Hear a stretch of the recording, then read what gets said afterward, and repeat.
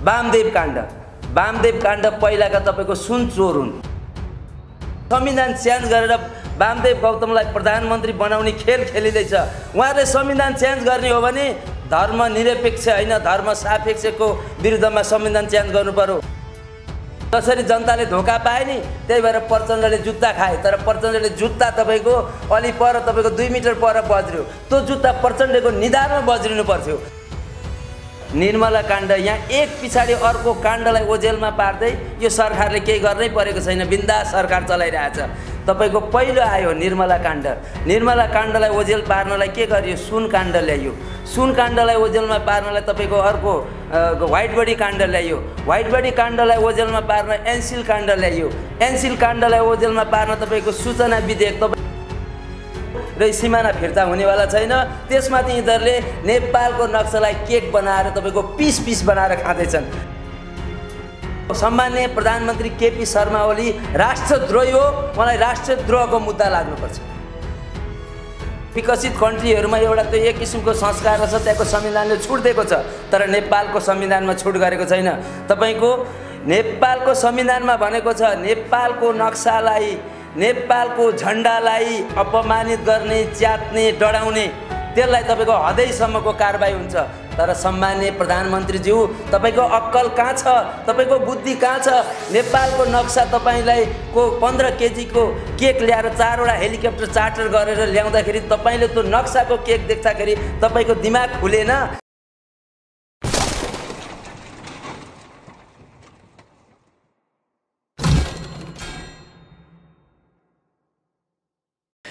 नमस्कार दर्शकबिन यति बेला तपाईँ स्मार्ट नेपाल हेर्दै हुनुहुन्छ र यति बेला हामी नेपालका लागि नेपाली अभियानको कार्यालय बिर्तामोड झापामा छौँ र हामीसँग कुराकानी गर्नका लागि नेपालका लागि नेपाली केन्द्रीय अभियन्ता एवं झापा संयोजक महेन्द्र प्रसाद प्रसाई हुनुहुन्छ। हामी उहाँसँग वर्तमान राजनीति अवस्था र नेपालका लागि नेपाली अभियानले के कदम चालिरहेको छ त्यसको विषयमा विशेष कुराकानी गर्नेछौँ। हेर्दै जानुहोस् हाम्रो नेपाल हामी नेपाली। हाम्रो नेपाल हामी नेपाली भएछ नि। त्यो जताबाट जे भने पनि तपाईँको यो राजनीति पार्टी होइन। यसले राजनीति पार्टीको जस्तो उद्देश्य बोकेका छैन। यसका मूलभूत एजेन्डाहरू फरक छन्। र नेपालको लागि नेपाली अभियानले त्यही भन्छ। भ्रष्टाचारको अन्त्य राजनैतिक शुद्धिकरण र तपाईँको राष्ट्रियताको संरक्षण।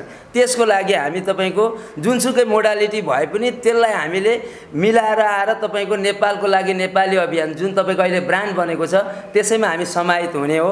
त्यसले गर्दाखेरि हाम्रो त नाम परिवर्तन भएको होइन। यसले गलत अर्थ लाग्दैन। यसले गलत अर्थ लाग्दैन। त्यसैले नेपालको लागि नेपाली अभियानले भन्छ भ्रष्टाचारको अन्त्य। भ्रष्टाचार तपाईँले अहिले देख्नुहुन्छ। निर्मला काण्ड यहाँ एक पछाडि अर्को काण्डलाई ओझेलमा पार्दै यो सरकारले केही गर्नै परेको छैन। बिन्दा सरकार चलाइरहेछ। तपाईँको पहिलो आयो निर्मला काण्ड। निर्मला काण्डलाई ओझेल पार्नलाई के गरियो? सुन काण्ड ल्याइयो। सुन काण्डलाई ओझेलमा पार्नलाई तपाईँको अर्को व्हाइट बडी काण्ड ल्याइयो। व्हाइट बडी काण्डलाई ओझेलमा पार्न एनसिल काण्ड ल्याइयो। एनसिल काण्डलाई ओझेलमा पार्न तपाईँको सूचना विधेयक तपाईँहरू जस्तो अनलाइन मिडियालाई बन्देज लगाउने अर्को काण्ड ल्याइयो। त्यस पछाडि तपाईँको अर्को एमसिसी काण्ड अब यहाँ महरा काण्ड त्यस पछाडि गच्छादार काण्ड त्यस पछाडि अहिले अर्को के आयो? केक काण्ड। नेपालको संविधानमा। सार्वभौम सत्ता जनतामा निछ।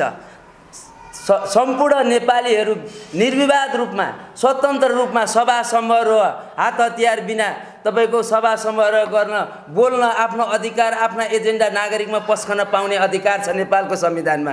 नेपालको संविधानमा भनेको छ नेपालको संविधानमा तपाईँको नेपालको नक्सालाई च्यात्ने डढाउने र अपमान गर्ने। नेपालको राष्ट्रिय झन्डालाई च्यात्ने डढाउने अपमान गर्नेलाई हदैसम्मको कारवाही हुन्छ। तर नेपालका अहिले सम्मानीय प्रधानमन्त्री हुन त उहाँ अहिले अब मृगोला प्रत्यारोपणको चरणमा जानु भइरहेछ उहाँलाई म यही तपाईँहरूको मिडियाबाट के भन्न चाहन्छु भने उहाँ मृगोला प्रत्यारोपणमा जाँदै हुनुहुन्छ उहाँलाई अपरेसन थिएटरमा हालिन्छ र अपरेसन थिएटरमा उहाँ एकचोटि परमधाम पुग्नुहुन्छ बेहोस पारिन्छ।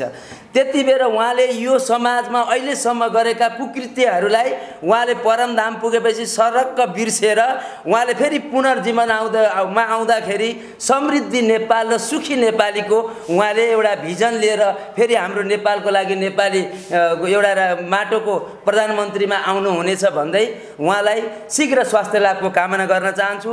त्यस पछाडि अर्को कुरो म तपाईँलाई संविधानको कुरा गर्दै थिएँ। अर्को कुरो उहाँहरू अर्को काण्ड आइरहेछ अहिले। तपाईँ तपाईँको वामदेव काण्ड। वामदेव काण्ड पहिलाका तपाईँको सुन चोर हुन्। वामदेव काण्डलाई अहिले तपाईँको नेपालको संविधान संशोधन गरेर नेपालको संविधानमा भनेको छ जननिर्वाचित व्यक्ति मात्र राष्ट्रको पदमा प्रधानमन्त्री मन्त्रीमा हुन पाउँछ। तर उहाँलाई चेन्ज गरेर संविधान चेन्ज गरेर वामदेव गौतमलाई प्रधानमन्त्री बनाउने खेल खेलिँदैछ। उहाँहरूले संविधान चेन्ज गर्ने हो भने धर्मनिरपेक्ष होइन धर्म सापेक्षको विरुद्धमा संविधान चेन्ज गर्नु पर्यो। सनातन हिन्दू राज्य त्यसको विरुद्धमा उहाँले संविधान बदलिनु पऱ्यो चेन्ज गर्नु पऱ्यो र प्रत्यक्ष निर्वाचित प्रधानमन्त्री त्यसको लागि उहाँहरूले संविधान परिवर्तन गर्नु पऱ्यो र प्रत्यक्ष निर्वाचित अख्तियार प्रमुख प्रत्यक्ष निर्वाचित प्रधान न्यायाधीश प्रत्यक्ष प्रत्यक्ष निर्वाचित तपाईँको सुरक्षा नि निकायका प्रमुखहरू आइजिपी प्रधान सेनापति। त्यसमा उहाँहरूले संविधान संशोधन गर्नुहोस्। तिन करोड नेपाली वा वा भनेर ताली ठोक्छ। तर उहाँहरूले भ्रष्टहरूलाई तपाईँको पदमा ल्याउनको लागि संविधान चेन्ज हुन्छ भने नेपाली जनताले बिल्कुलै स्वीकार्दैन। के काट्नु भएको छ नि प्रधानमन्त्रीले नेपालको नक्सा बनाए? हजुर। यो त कल्चर हो भन्छन् नि।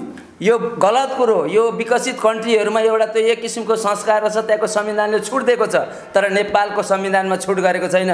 तपाईँको नेपालको संविधानमा भनेको छ नेपालको नक्सालाई नेपालको झन्डालाई अपमानित गर्ने च्यात्ने डढाउने त्यसलाई तपाईँको हदैसम्मको कारबाही हुन्छ।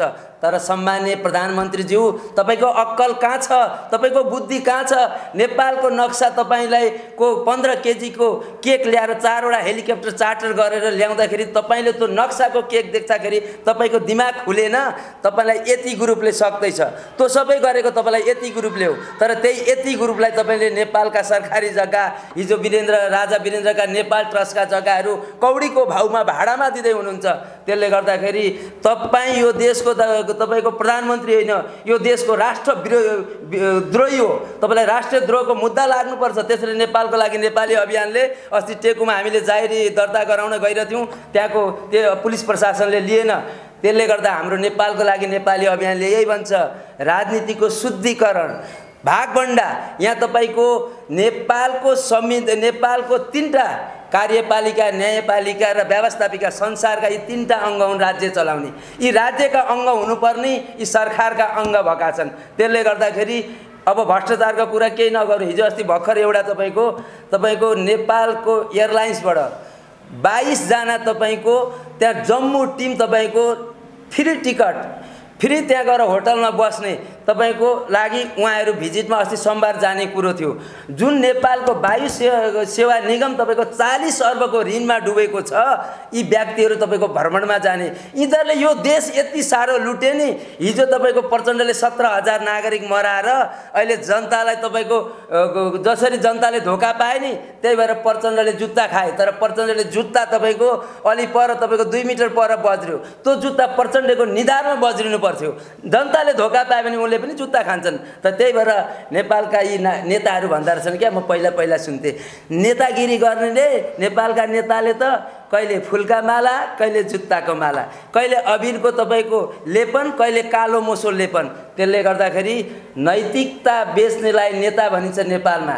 तपाईँहरू सबैको प्रिय पात्र विश्वास पात्र भएर तपाईँ नेतृत्व गर्नुहोस् न। तपाईँहरूलाई सबैले मान्छ। त्यसले गर्दाखेरि यो देशमा अब कुरा गरेर साध्य छैन। त्यसले गर्दाखेरि तपाईँको अनलाइन मिडियाबाट यो नेपालको नक्सालाई केक बनाएर तपाईँ जसरी काटी काटी खाइँदैछ जसरी हिजोको सि तपाईँको सिमाना विवादलाई हरेक ओजेल कुराहरू ल्याएर ओजेलमा हरेक काण्ड ल्याएर ओजेलमा पारिँदैछ। यो तुरुन्त अहिलेसम्म तपाईँले सुन्नुभएको छ चार महिना भइसक्यो। तपाईँको मार्च दुई तारिकमा तपाईँको नेपालको लिपि लिम्पुलिया लिपिया धुरा तपाईँको कालापानी सुस्ता तपाईँको भारतीय नक्सामा गाभेको छ।